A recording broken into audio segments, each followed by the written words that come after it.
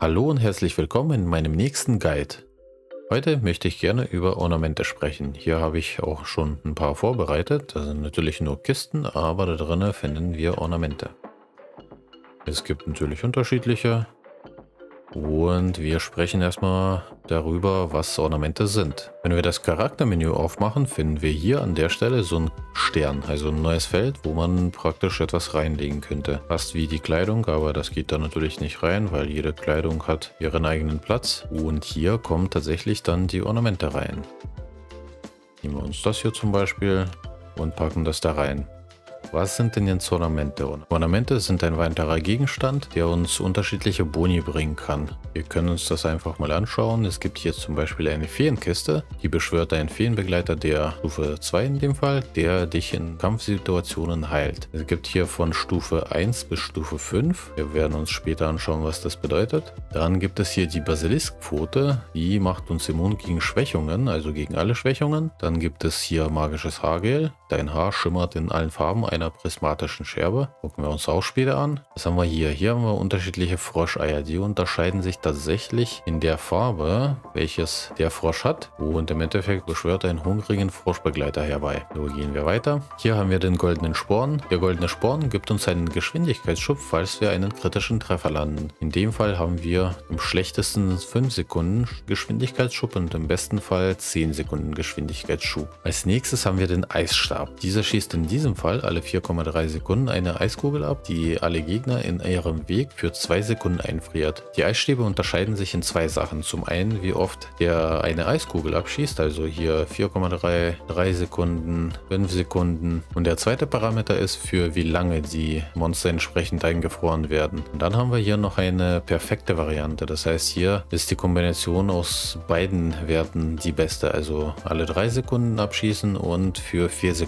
einfrieren. Aber die normalen Stäbe haben nie die beste Kombination, sondern es ist immer irgendwas schlechter. Das nächste ist das Papagei-Ei und dieses gibt es in vier Stufen. Das beschwört im Endeffekt einen Papageibegleiter, der Stufe X, also in dem Fall Stufe 1, der dir eine niedrige Chance gewährt, Goldmünzen zu finden, wenn du Monster erschlägst. Und mit jeder Stufe ändert sich im Endeffekt die Chance. Hier ist es schon mittlere, hier ist es eine hohe Chance und hier eine sehr hohe Chance bei Stufe 4. So, und als letztes haben wir einen Magieköcher. Die Magieköcher schießen alle x Sekunden einen magischen Pfeil ab auf Gegner und verursachen dann entsprechend auch unterschiedlich äh, Schaden. Den habe ich jetzt rausgenommen. So, jetzt haben wir hier unterschiedliche Varianten. Einmal Zauberköcher, das sind die normalen. Dann haben wir den schweren Köcher, die verursachen sehr viel Schaden, sind aber etwas langsamer als zum Beispiel der rasche Köder. Die Köder sind halt sehr schnell, aber verursachen entsprechend weniger Schaden. Wenn wir uns das jetzt genau anschauen, ich ordne das jetzt mal wieder. Rascher Köder, normaler Köder und schwerer Köder. Äh, Köder, Köcher, nicht Köder. So, jetzt haben wir zum Beispiel der rasche Magieköcher schießt am schnellsten natürlich und der Zauberköcher schießt so irgendwas zwischen dem schweren Magieköcher und dem schnellen. Sagen wir es mal so, mittlere Schussrate. Bei dem Schaden ist es auch entsprechend. Bei dem raschen ist der Schaden ziemlich klein, beim normalen Zauberköcher Mitte und beim schweren Magieköcher viel Schaden. So, dann gibt es hier auch nochmal eine perfekte Variante. Diese schießt schneller als der normale, langsamer als der rasche, aber verursacht dementsprechend auch viel Schaden. Zwar unter dem schweren Magieköcher, aber über dem normalen Zauberköcher. Man hat also das beste Verhältnis zwischen der Schussrate und dem Schaden, der verursacht wird. Das schauen wir uns auch später an. Jetzt müssten wir uns mal anschauen, wie man sie freischaltet. Die sind nämlich nicht von Anfang an da, sondern müssen erst freigeschaltet werden. Und dazu muss ich erstmal kurz irgendwo hinlaufen. So, jetzt sind wir schon auch angekommen und zwar müssen wir hier reingehen. Das ist die sogenannte Meisterungshöhle und hier können wir entsprechend fünf äh, Verbesserungen für unsere Fähigkeiten aussehen, beziehungsweise jeweils eine Verbesserung natürlich für jede Fähigkeit. Also ich spreche jetzt über die Fähigkeiten hier, Hofarbeit, Minenarbeit, Sammeln, Fischen und Kampf. Wenn wir die nämlich auf Stufe 10 gezogen haben alle, können wir dann die Meisterung freischalten. Für die Meisterung, da gibt es fünf Stufen und für jede Stufe muss eine unterschiedliche Anzahl an Erfahrung gesammelt werden. Für die Meisterung zählt aber alles an Erfahrung rein. Das heißt vom Kampf, vom Fischen, vom Sammeln, vom Minenarbeit und von Hofarbeit. Das heißt, egal was ihr macht, die Erfahrung, die ihr in den einzelnen Fähigkeiten sammeln würdet, würde jetzt hier reingehen. So, wir brauchen aber natürlich nicht unbedingt die Stufe 5, um die Ornamente freizuschalten, sondern wir müssen nur das hier, die Meisterung des Kampfes freischalten. Da sehen wir nämlich als letzten Punkt, dass diese einen neuen Ausrüstungsplatz äh, für die Ornamente freischaltet. Und das ist genau das, was wir brauchen.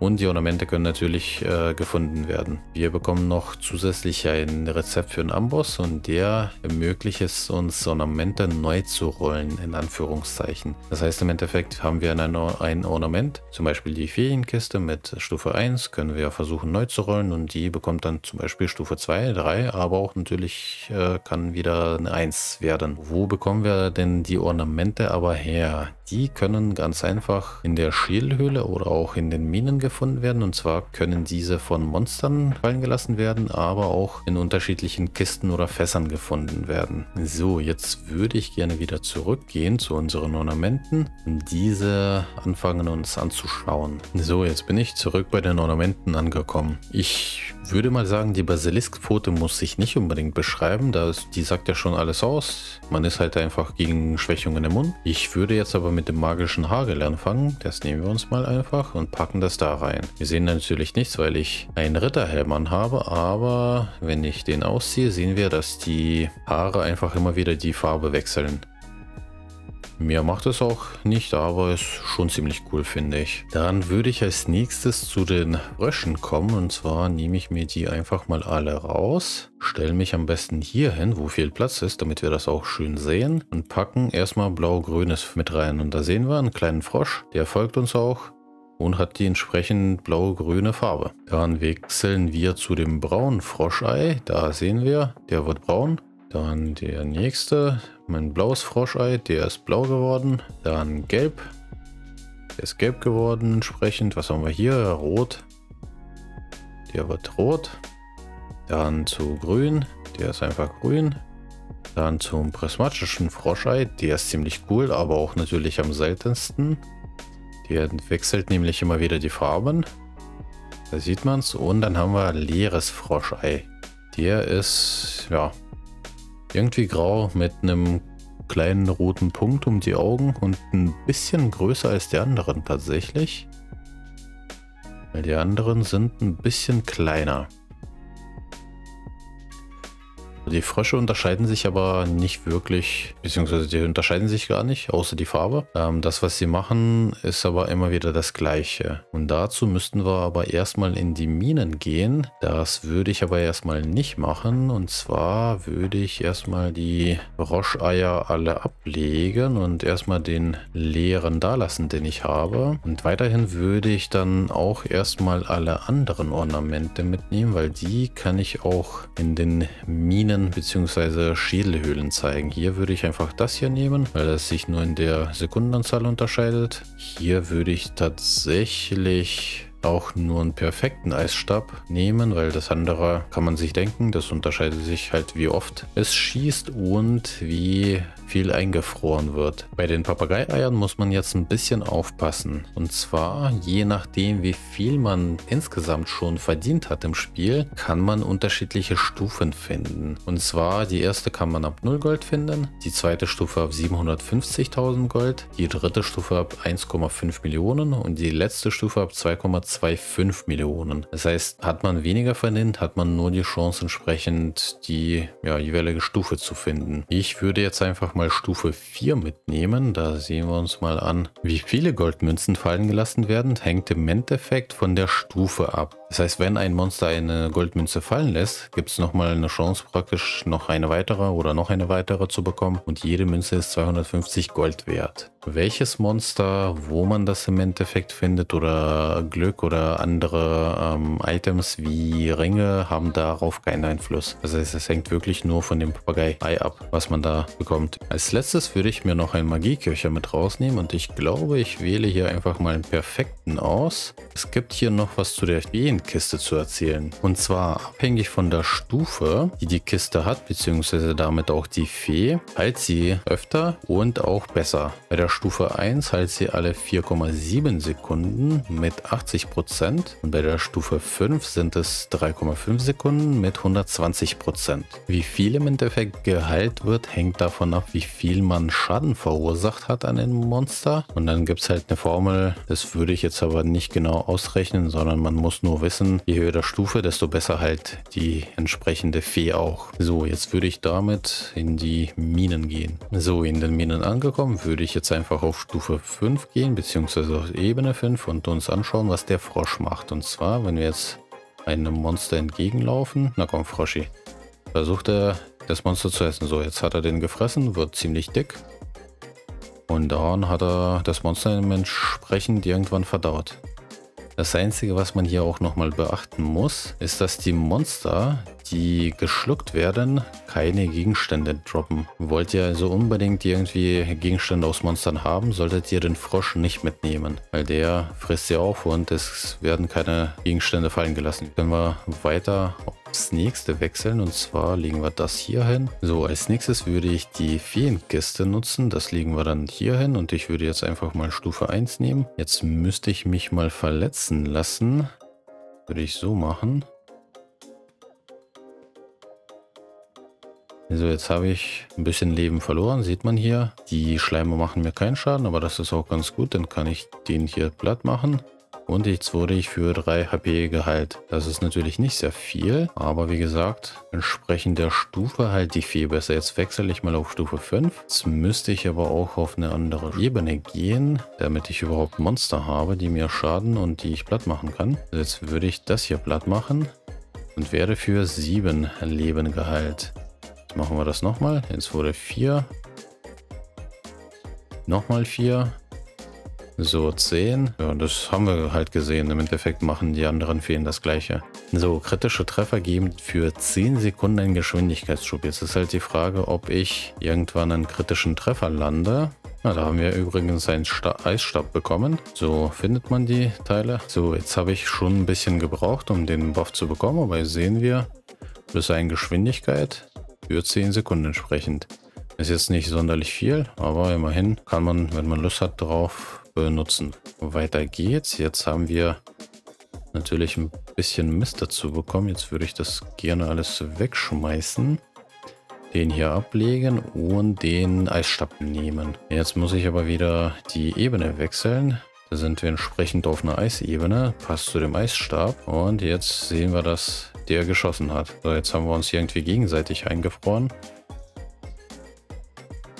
Kann ich das Ding irgendwie nicht platt machen. So, jetzt geht's. Wunderbar. Ja, und im Endeffekt macht der Eisstab genau das. Er friert einfach alles mögliche ein. Das Gute ist vor allem bei fliegenden Gegnern, weil sie dann nicht fliegen können, nicht wegfliegen können. Also in den Schädelhöhlen, wo viele Schlangen sind oder im Vulkan, wo diese ganzen Feuer rumfliegen, bietet sich das an. So, das haben wir uns angeschaut und jetzt würde ich den Magieköcher mit reinpacken. So, jetzt gucken wir uns das an. Da haben wir gesehen, Pfeil. Es fliegen ziemlich viele Pfeile rum. Bei dem perfekten Magieköcher, weil der auch ziemlich schnell ist. Verursachen auch ganz ordentlich Schaden. Also so als Zusatzschadensquelle gar nicht mal so schlecht, würde ich behaupten. So, ah, da sehen wir übrigens auch, wir können so die ganzen Krabben entdecken, die sich unter Steinchen verstecken, beziehungsweise unter Erz. So, da kommt Krabbe. Achso, ich habe wahrscheinlich keinen Platz, deswegen springt ihr da rum. Gut, kann sie gerne machen. Wir laufen erstmal weiter. Und zwar noch das Papagei-Ei ausprobieren. Dazu gehen wir wieder zur nächsten Ebene. Da fliegt auch ein Papagei hinterher. So, da haben wir ein paar bekommen. 250. Das heißt, es war eine Münze. Will aber ein paar mehr sehen als nur eine. Eigentlich müsste die Chance sehr hoch sein, Münzen zu bekommen. Hier kann man abschätzen, wie oft man Münzen bekommen würde mit einer geringeren Chance oder mittleren. Wenn bei sehr hoch die Münzen nicht so oft kommen. Aber das sollte eigentlich ausreichen. So, jetzt haben wir schon wieder zwei Münzen bekommen. 500 Gold. Also es kann sich durchaus lohnen, das Ding mitzunehmen, weil man bekommt immer wieder zusätzlich Gold in der Mine oder in den Schädelhöhlen und dann können könnte man dadurch sein Einkommen ein bisschen aufbessern, wenn man in den Schädelhöhlen ist oder in den Minen, irgendwelche Quests oder irgendwelche Sachen farmen. So, ich würde mich wieder zurück teleportieren. Es gibt nämlich noch eine Sache, über die man sprechen kann. Und zwar gibt es noch das Amboss, was ich gerne zeigen würde. Ich würde dazu die Feenkisten hierhin bewegen und das dahin. Jetzt haben wir hier die Feenkiste Stufe 5. Wenn wir die jetzt hier reinpacken, dafür brauchen wir übrigens jeweils jedes Mal drei Iridium-Waren. Das heißt, es kann ein bisschen kosten, wenn man Sachen verbessert. Das haben wir gesehen. Von Stufe 2 sind wir auf Stufe 5, äh, von Stufe 5 auf Stufe 2 zurückgegangen. So, jetzt sind wir immer noch auf Stufe 2. Das kann sich immer wieder wiederholen. Das ist immer Zufall, was man da bekommt. Immer noch Stufe 2. Da haben wir ja richtig Pech gehabt, zweimal hintereinander die gleiche Stufe zu erwischen. Stufe 1 ist noch schlechter geworden und so weiter. Man kann es jetzt äh, mit jedem Ornament machen, außer natürlich die beiden, weil die verändern sich ja nicht. Ähm, bei den Fröschen gibt es dann entsprechend unterschiedliche Farben, wenn man das macht. Das heißt, man kann eine der Farben bekommen, aber beim Aststab ändern sich halt die Werte, beziehungsweise er kann perfekt werden. Bei dem Magieköcher ist es auch entsprechend, entweder kann er normal sein, äh, rasch oder schwer, beziehungsweise perfekt. Und beim Sporn ist es entsprechend die Sekunden, die sich ändern. Man muss aber beachten, wenn man jetzt einen perfekten Eisstab haben möchte, kann das schon einiges kosten. Ich habe jetzt beim Vorbereiten, glaube mindestens 400 Iridium-Baren aufgebraucht, bis ich den perfekten Magieköcher und den perfekten Eisstab bekommen habe. Bei den Feenkisten ist es ein bisschen einfacher, da geht es schneller, aber wie gesagt, beim Magieköcher und dem Eisstab kann es schon in die Länge ziehen. Eine Sache gibt es bei den Feenkisten noch zu erwähnen. Diese können unterschiedliches Aussehen haben, aber das ist Save-File abhängig. Das heißt, in einem anderen Speicherstand können die Feen anders aussehen. Ich würde jetzt die Fee von vorhin dazulegen, so dass man die vergleichen kann. Und ja, ansonsten unterscheiden sie sich jetzt in dem Speicherspielstand gar nicht. Ich würde jetzt nochmal schnell auf den anderen wechseln. So, packen wir das hier rein und man sieht, die ist ein bisschen lila im Vergleich zu der anderen, die eher eher hellblau war. Aber damit habe ich einen kurzen Überblick über die ganzen Ornamente gemacht. Ich hoffe, das wird dir ein bisschen unter die Arme greifen. Ansonsten weiterhin viel Spaß mit dem Spiel und bis zum nächsten Mal. Ciao!